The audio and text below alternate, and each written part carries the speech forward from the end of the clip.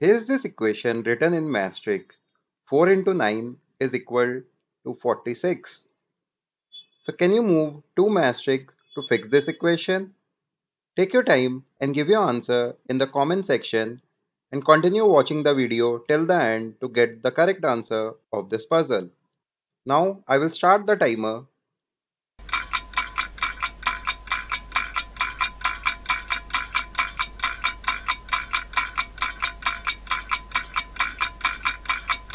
So time's up. Let's solve this equation now. So first thing what we have to do is move this matchstick from here change into the horizontal put it here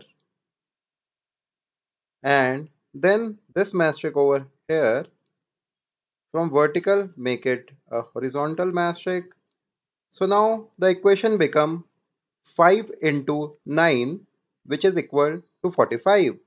So that's the correct answer of this puzzle. Hope you like this video. Do give it a thumbs up. For more puzzles and riddles, please subscribe to Puzzle Adda. Thanks for watching.